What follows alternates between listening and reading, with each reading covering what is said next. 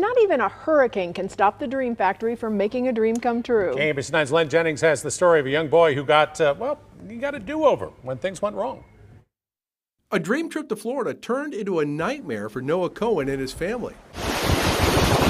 And then we were told we had to evacuate, like in the middle of the day.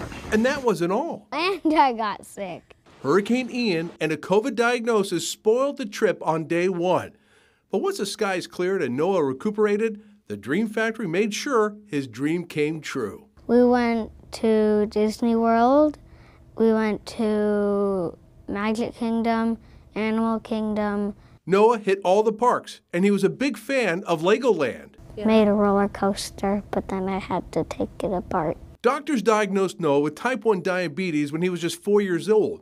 The now 10 year old has learned to live with it and it's not stopping him from doing the things he loves, like soccer. Sometimes when I run, I get low. And it definitely didn't stop him from loving his dream trip or eating all the ice cream he wanted.